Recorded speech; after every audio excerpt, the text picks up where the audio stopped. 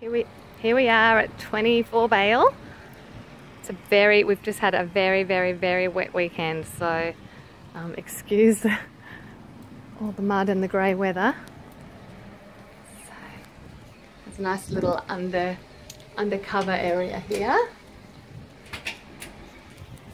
So you enter into a big wide hallway, nice tiles. Um, this is the master immediately to the left. So it has side access on both sides. There's a nice sized walk-in robe with shelving and the ensuite. So just a shower ensuite. Nice little vanity.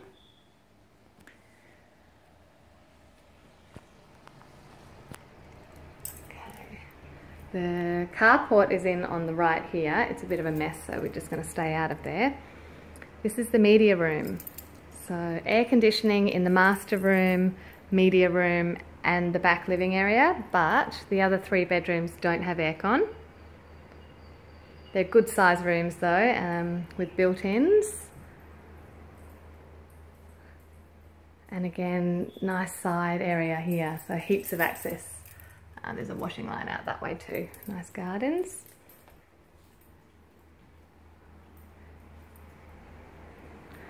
So coming down the hallway, little shelf area there.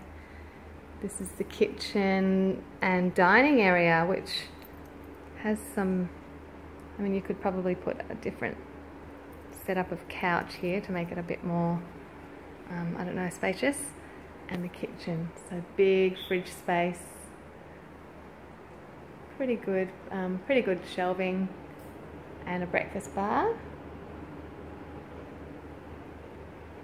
This is the study nook I was telling you about. So it's just a little built-in office area with um, sliding so you don't have to look at it. It's quite cool. So the back patio, these guys extended it, which is why they will be tiling that. That's one of their jobs to do. Uh, it's a really good size yard, heaps of room for a pool, uh, pretty low, low maintenance gardens, but they're established, you know, it's nice. They've been here for a few years. And then we've got the last two bedrooms down here, so quite good to have the separation of the bedrooms. Uh, Built-in wardrobes. Um, this guy's got a little TV set up here and a nice view of the yard pretty cool. And this is their little girls' room. And again, um, it's a bit of a grey day today, so sorry we put the lights on. And she's got built-in wardrobes as well. Laundry with uh, a good size sliding linen. It's pretty good right to the ceiling and access out there to um, the washing line. And then we've got the main bathroom. So separate toilet, which is cool. And like a powder area, a little vanity. And then the main bathroom with a bath. Okay, so that is the house in a nutshell. Um, the jobs that these guys were planning to do before they go on the market is uh, replace some of these lights. They've actually lost uh, the one in the kitchen. There you go. You can see they've lost the, the, the, glass sconce. I think the clip broke or something.